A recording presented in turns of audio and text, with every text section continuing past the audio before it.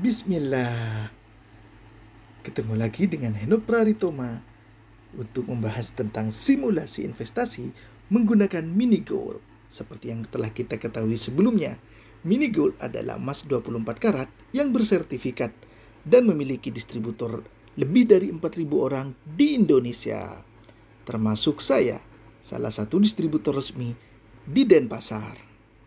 Untuk mengetahuinya, silakan buka website Mini Gold dan klik daerah yang pengen kalian cari.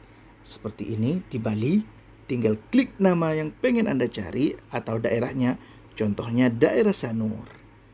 Maka di situ akan tampil distributor resminya, yaitu Henopra, Hendri Novianto Pratama. Untuk investasi kali ini, kita harus mengetahui harga pecahan mini gold yang akan investasikan, yaitu harga buybacknya.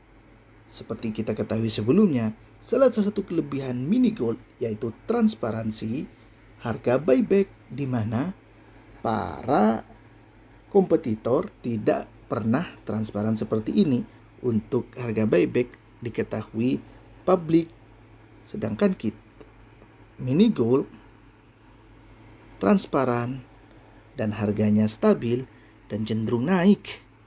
Harga 0,05 gram 54.000 untuk hari ini.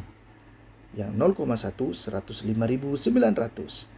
Yang 0,25 gram 264.750.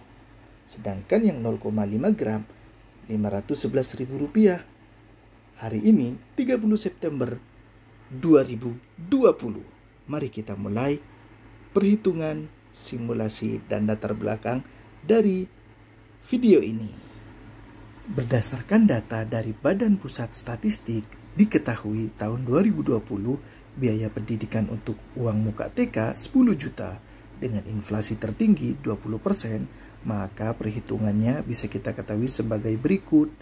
Jika kita asumsikan Allah amanahkan kita memiliki anak pada tahun 2020, baru lahir, maka usia ideal untuk masuk TK 4 sampai 6 tahun berada di 2024. Berikut perhitungannya. Sedangkan grafiknya seperti ini. Akan ada peningkatan terus untuk uang muka masuk TK. Seperti yang kita ketahui sebelumnya, jika target waktu kita 4 tahun dengan uang target kita yang kita butuhkan 20.736.000 jika kita disiplin menabung mini gold pecahan 0,05 gram kita butuh waktu satu tahun. Sedangkan yang 0,1 gram kita butuh waktu 6 bulan 5 pekan.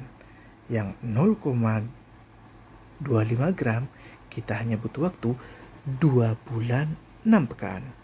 Sedangkan yang 0,5 gram kita butuh waktunya 1 bulan 4 hari. Untuk yang sepekan sekali dengan target 4 tahun yang 0,05 melebihi target 4 tahun. Untuk yang 0,1 masih kekejar 3 tahun 8 bulan, sedangkan yang 0,25 1 tahun 5 bulan. Untuk yang 0,1 gram 10 bulan saja insya Allah tercapai. Jadi kita bisa usahakan pada target yang sepekan sekali ini untuk lebih maksimal. Karena jika kita menabung mini goldnya sebulan sekali, insya Allah melebihi target 4 tahun semua. Untuk keterangan dan perhitungan di video ini bisa di pause. Untuk simulasinya sendiri bisa baca deskripsi tentang step-step cara menghitungnya. Terima kasih telah meluangkan waktu untuk menonton video ini dan terima kasih pula telah subscribe channel ini. Semoga bermanfaat.